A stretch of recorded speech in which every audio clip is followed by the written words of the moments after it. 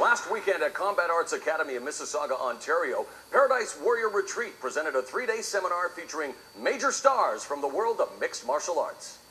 It's a three-day event where they're taking some of the best instructors in all areas of uh, mixed martial arts and uh, offering them in one single package to to fans, uh, athletes, trainers um, to come and train and, and, and learn from the best. Uh, we're banging out the uh, the Paradise Warrior Retreat, and uh, it's very cool. It's my first time. You know, I, I, bang out a lot of seminars between fights, and um, you know, I love teaching. I got two Brazilian Jiu-Jitsu schools in Long Island, and uh, I've been doing it forever. I love teaching.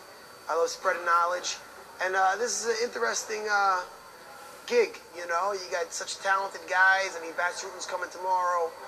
You know, you got Rob Kaman.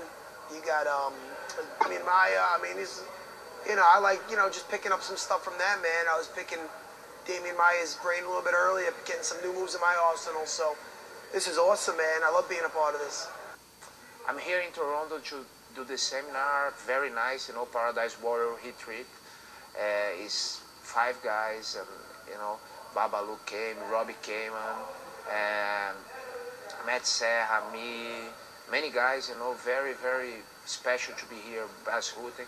I'm not here just to teach, but I, I know I'm gonna learn a lot here.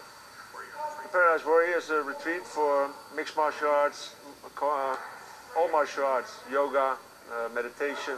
So. I came to Toronto to, to be involved in Paradise Warrior Retreat. I came here to teach, like to, to share my experience, my knowledge with those guys here.